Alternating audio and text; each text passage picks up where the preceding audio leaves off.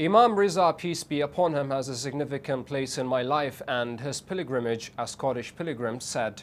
During the pilgrimage days particular to the compassionate Imam, Mashhad is meeting or is teeming with pilgrims attending a sacred place from across Iran for the sake of express expressing devotion, and among them are those who see the golden dome of the eighth Imam, peace be upon him, as one of their long-term wishes, and they are willing to travel long distances to reach the Razavi Holy Shrine. Fatima Alin, a Scottish lady who traveled to Mashhad for the first time, is one of those enthusiasts who said her, that her feelings of presence of the Holy Shrine of Imam Rida, peace be upon him, has a significant place in her life and she was able to establish a great inner connection with him during this visit. The beauty of this place and my spiritual state is indescribable. The beauty and spirituality were at their peak. And certainly the best experience I'd had from traveling to Iran was here for me. She described her feelings about the pilgrimage.